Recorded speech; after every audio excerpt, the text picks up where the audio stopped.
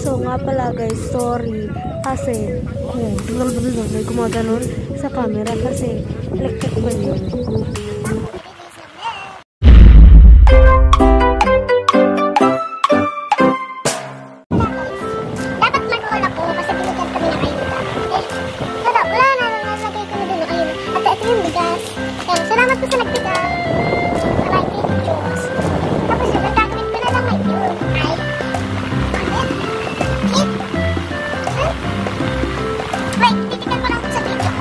five minutes.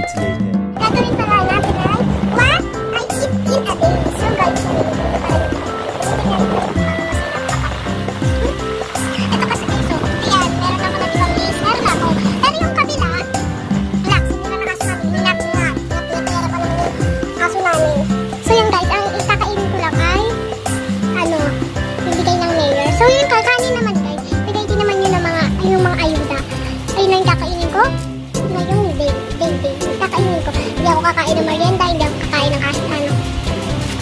Kakain naman eh. Wala naman silang binigay na bigat eh.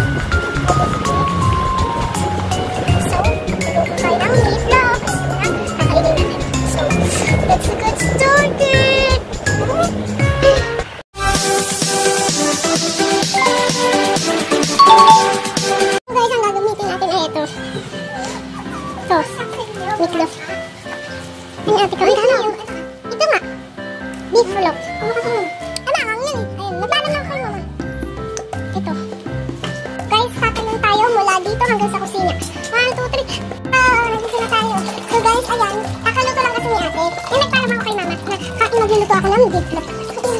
Cut na lang tayo ng pagkain type. Ate, mga kain dyan, dyan ko na lang kayo ilalagay. So maghugas muna